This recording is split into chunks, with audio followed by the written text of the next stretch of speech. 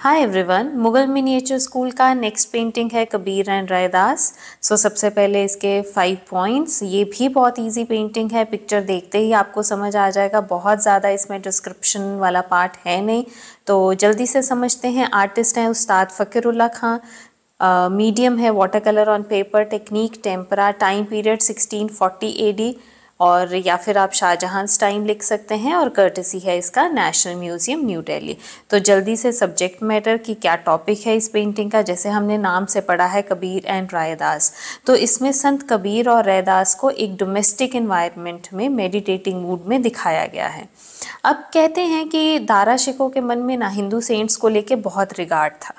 इसके कहने पर ही शाहजहाँ के चीफ पेंटर उस्ताद फ़कीरुल्ला खां जो कि एक प्रसिद्ध पोर्ट्रेट पेंटर थे उनके द्वारा ये पेंटिंग बनाई गई थी। सो काफ़ी फ़ेमस पेंटिंग है। इसके ऊपर बोर्ड में भी बहुत बार क्वेश्चन आ जाता है जो मैं आपसे एंड में डिस्कस करूँगी कि किस किस तरह के क्वेश्चन इससे रिलेटेड आते हैं। सो so, उससे पहले समझते हैं डिस्क्रिप्शन को या कॉम्पोजिशनल अरेंजमेंट को। सो फ़र्स्ट पॉइंट जो हम डिस्क्रिप्शन में लिख के जाएँगे वो है कि ये एक हॉरिजॉन्टल पेंटिंग है जो देखने में आपको दिख रही है। दूसरा, इसमें सेंट्स को टिपिकल विलेज सेटिंग में बैठे बनाया गया है। कबीर को देखें तो अपने करघे पर बुनाई करते हुए दिखाया है मतलब ही shown weaving on his loom और उनके पीछे ही संत रायदास को इनके पीछे बैठे दिखाया है, जिन्होंने हाथ में बीड्स की माला, मोतियों की माला एक पकड़ी हुई है। दोनों को कुछ लगता है देखने से कि मेडिटेटिंग मूड में है, या फिर कोई, किसी बहुत डीप डिस्कशन में खोए हुए हैं, ऐसे मग्न दिखाया गया है इनको। अब पीछे का इन्वायरमेंट देखें देखें मेन तो दो ही फिगर्स हैं ये दोनों। इन दोनों का पोजीशन हमने समझ ली कि किस तरह से बैठे हैं, क्या है।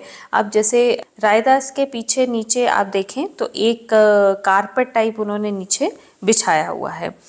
बैकग्राउंड में सिंपल विलेज सीन है पीसफुल सा, हट दिखाई गई है। और दोनों के चेहरे अगर आप देखें ना तो जैसे संतों जैसे एक नूर है, एक डिवाइन पीस है इनके चेहरों पे। तो वो एक्सप्रेशन भी एक बड़ा इंपॉर्टेंट पॉइंट है, जिसको डिस्क्रिप्शन में आपको लिख के जाना है। अब बॉर्डर बनाया गया है, पूरी पेंटिंग को दिया गया है, जो कि ब्राउन ब्लैक गोल्डन कलर में है।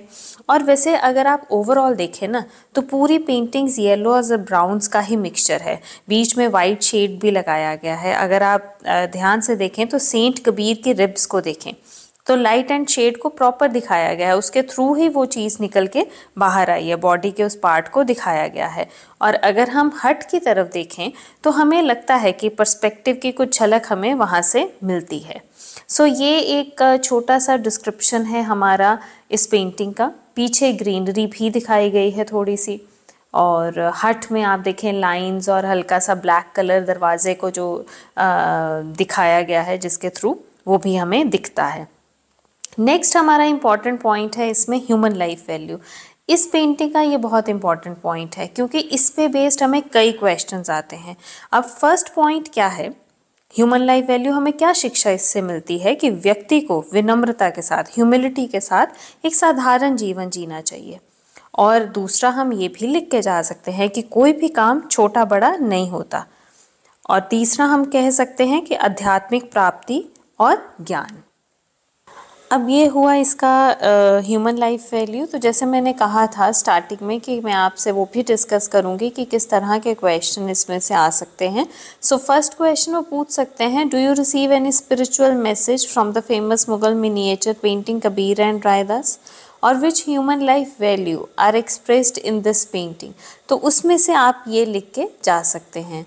जैसे काम करते हुए और साथ में मेडिटेटिंग मूड तो उसका एक ये भी मतलब होता है कि जैसे हमने सुना है और पढ़ा भी है कि वर्क इज़ वर्शिप तो उस बेसिस पे भी आप अपने आंसर को लिख के जा सकते हैं। और बाकी जो ह्यूमन लाइफ वैल्यू मैंने यहाँ पे डिस्कस की हैं आपसे, वो भी आप लिख सकते हैं। और सेकंड जो नॉर्मली क्वेश्चन पूछा जाता है, वो इस तरह से होता है कि identify any relevant painting included in your course comprising of the following features and explain them in that painting accordingly मतलब ये जो नीचे लाइन अब दी गई है तो वो किस पेंटिंग से रिलेटेड है? और आप ये पढ़ के किस पेंटिंग या कौन सी पेंटिंग आपके दिमाग में आती है उसके बारे में लिख के जाएँ।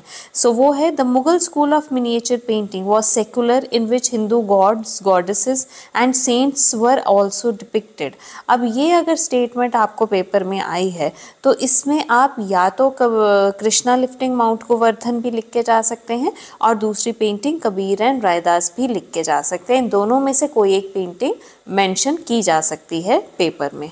So this is all about Kabir and Raidas thank you